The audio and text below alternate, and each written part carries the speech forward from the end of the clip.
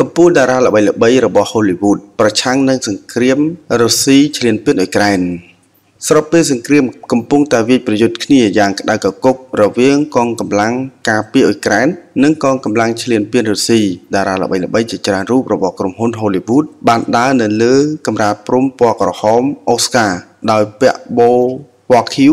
នៅក្នុងមហោស្រព Dolby ទីក្រុង Los Angeles សហរដ្ឋអាមេរិកដើម្បីបង្ហាញពីការគ្រប់គ្រងដល់ប្រទេសអ៊ុយក្រែនហើយប្រឆាំងនឹងការឈ្លានពានរបស់រុស្ស៊ីនៅថ្ងៃទី28ខែមីនាឆ្នាំ2022នេះតារាល្បីៗជាច្រើនរូបរបស់ក្រុមហ៊ុន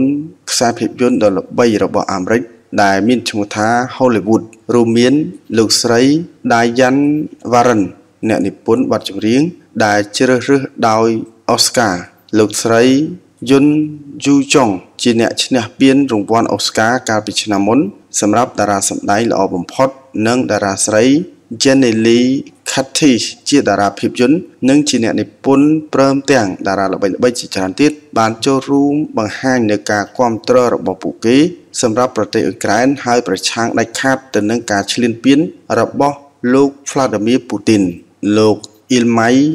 Sherman ផលិតករខ្សែភាពយន្ត Power of the Dog បានបញ្ជាក់ថាវាពិតជាចម្លែកណាស់ក្នុងការឈរនៅទីនេះក្នុងឈុតសម្លៀកបំពាក់ដោយដឹងអំពីអ្វីដែលកំពុងកើតឡើងនៅក្នុងប្រទេសអ៊ុយក្រែនពួកយើងសាមគ្គីដើម្បីប្រឆាំងនឹងសង្គ្រាមឈ្លានពាននៅក្នុងប្រទេសអឺរ៉ុបមួយនេះបាទហើយតើតើទៅនឹងរឿងរុស្ស៊ីឈ្លានពានអ៊ុយក្រែននេះបើយើងងាកមកកាន់ប្រទេសរុស្ស៊ីឯនេះវិញបានរឹបអូសនាឡិកាម៉ាកល្បីៗដែលមានឈ្មោះថា Audimas Picket តម្លៃរាប់លានដុល្លារកាសែត Swiss ដែលមានឈ្មោះថា Uncensored បានរាយការណ៍ថាភ្នាក់ងារចារកម្មរុស្ស៊ីបានរឹបអូសយកនាឡិកាម៉ាក Audimas Picket តម្លៃរាប់លានដុល្លារនៅទីក្រុងមូស្គូក្នុងការសងសឹកជាក់ស្ដែងចំពោះទនកម្មរបស់ស្វីសដែលហាមឃាត់ការនាំចេញទំនិញប្រណិតកាសែតនេះបាននិយាយថានាឡិកាតម្លៃថ្លៃថ្លៃជាច្រើនគ្រឿងត្រូវបានរឹបអូសពីកន្លែងលក់ក្នុងស្រុករបស់ក្រុមហ៊ុន Audimas Picket ដោយភ្នាក់ងារពិសេសទី2ភ្នាក់ងារចារកម្ម FSB របស់រុស្ស៊ីនេះបាយូតាមការដកស្រង់សម្ដីពីមនុស្សដែលជិតស្និទ្ធជាមួយនឹងចារកម្មសម្ងាត់របស់នាយកដ្ឋានកិច្ចការបរទេសសហព័ន្ធស្វីសប្រទេសស្វីសដែលជាចង្រុកនៃម៉ាកនាឡិកាល្បីៗកម្ពូលកម្ពូលជាច្រើនលើពិភពលោកបានបោះបង់ចោល ជំហរអព្យាក្រឹតរបស់ខ្លួននិងចូលរួមដាក់ទណ្ឌកម្មជាមួយនឹងសហភាពអឺរ៉ុបដោយហាមឃាត់ការនាំចេញទំនិញដ៏ប្រណិតទៅកាន់ប្រទេសរុស្ស៊ីកាលពីដើមខែនេះដើម្បីឆ្លើយតបទៅនឹងការឈ្លានពានលើអ៊ុយក្រែនកាសែតនេះបានរាយការណ៍ដោយដកស្រង់ចារកម្មខាងលើថាអាញាធិរុស្ស៊ីបានលើកឡើងពីបទល្មើសកយថាហេតុផលដែលនាឡិកាម៉ាក Audimas Picket ត្រូវបានរឹបអូសក៏ប៉ុន្តែមន្ត្រីក្រសួងការបរទេសស្វីស បាននិយាយថាវិធានការនេះទំនើងជាវិធានការគៀបសង្កត់តាមអំពើចិត្តដើម្បីឆ្លើយតបទៅនឹងការដាក់ទណ្ឌកម្មមន្ត្រីពីក្រុមហ៊ុន